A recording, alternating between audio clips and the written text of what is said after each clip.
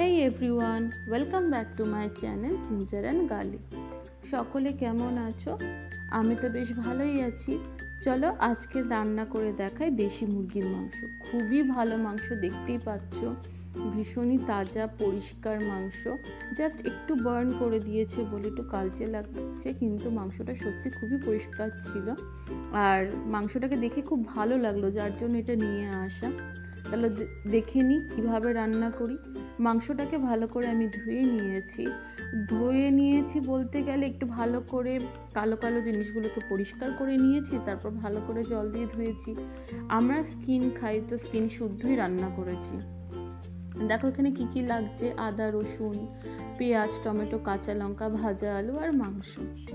দেখো ব্লেন্ডারের মধ্যে আমি আদা, রসুন দিয়ে দিয়েছি। আমরা গোলমরিচ খাই, তো গোলমরিচও দিয়ে দিয়েছি। এটা হচ্ছে ভাজা জিরে, গোটা জিরে এটা, এটাও দিয়ে দিলাম।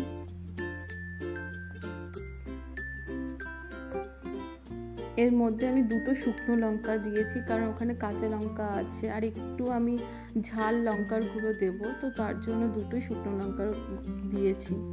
আমার মনে হয় খুব বেশি মশলাপাতি দিলে হয়তো জিনিসের টেস্ট একটু আলাদা হয়ে যায়। আর আমি চেয়েছি পুরো একদম মানে গ্রামে যেভাবে রান্না করে, ঠিক সেইভাবে আমি জিনিসটাকে রান্না করি। এবার দেখো আমি জিনিসটাকে পুরো মেখে ঝুঁকেই রান্না করব। কোনো রকমের ওই ভেজে বা মশলা কষিয়ে সেটা না।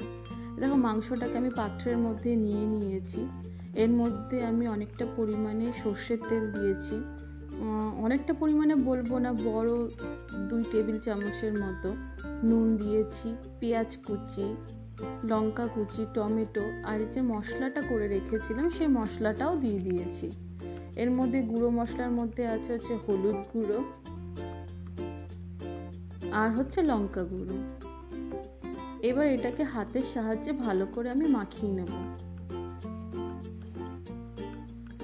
মাখানো হয়ে গেলে আমি এটাকে প্রায় হাই স্টিমে আমি এটাকে রান্না করব। দেখো আমার নাইন হচ্ছে একদম হাই তো ওটাতে আমি দিয়ে দিয়েছি, ঢাকা দিয়ে দিয়েছি।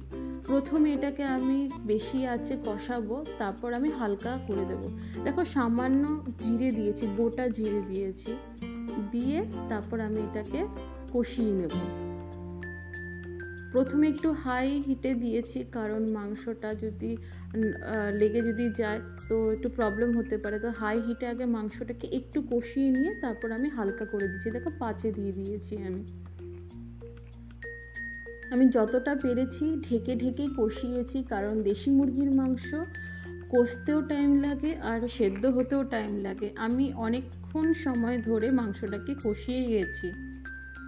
দেখো মাংসটা আমি কষাচ্ছি। আর মাংসগুলোর পিস একটু বড় বড় করা হয়েছিল। তাদেরকে বলা হয়েছিল একটু ছোট করে কাটতে, কিন্তু সে তারা একটু বড় করে কেটে দিয়েছে, যার জন্য একটু মাংসটা কষতেও একটু টাইম লেগেছে। শুধু আমি ঢেকে ঢেকেই কষাবো, যতক্ষণ না তেল ছাড়বে বা মশলাটা না কষবে। মাঝে মাঝে একটু খুন্তি দিয়ে চালিয়ে নেব যাতে নিচে যাতে না লেগে থাকে। দেখো আমার মাংসটা কিন্তু অনেকটা কষা হয়ে গেছে, তেল ছেড়ে দিয়েছে। আর মাংসটার মধ্যে এমনিতেও অনেকটাই তেল ছিল, চর্বি ছিল। যখন কষা প্রায় হয়ে গেছে, পুরো হাফ মাংস সেদ্ধ হয়ে গেছে, তখন আমি ভেজে রাখা আলুগুলো দিয়ে দিয়েছি। এটাকে আমি ভালো করে নাড়িয়ে নেব। এখন কিন্তু স্টিম কিন্তু আছে নাইনে আছে। হিটটা নাইনে আছে। দেখো, যখন মাংস পুরো কষানো হয়ে গেছে, আলুটাও কষিয়ে নিয়েছি, তখন আমি কেটেলে জল গরম করা আছে, আমি সেই গরম জলটা দিয়ে দিয়েছি। এবার আবারও খুন্তি দিয়ে ভালো করে নাড়িয়ে নেব।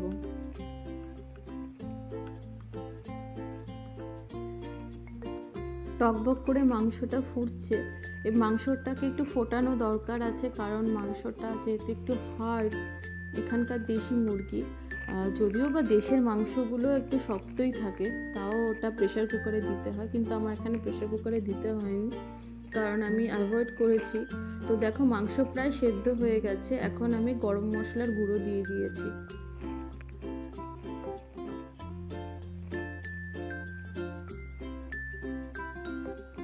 আমি কিছুক্ষণ ঢাকা দিয়ে স্ট্যান্ডিং টাইমে রেখে দেব।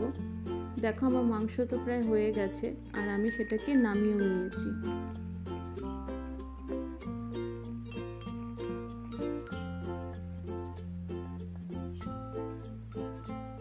মাংসর ঝোলের ঘনত্বটাকে আমি এইভাবেই রেখেছি। দেখো, আমার দেশি মুরগির মাংস পুরো রেডি খেতে অসাধারণ আর দুর্দান্ত ভালো হয়েছে।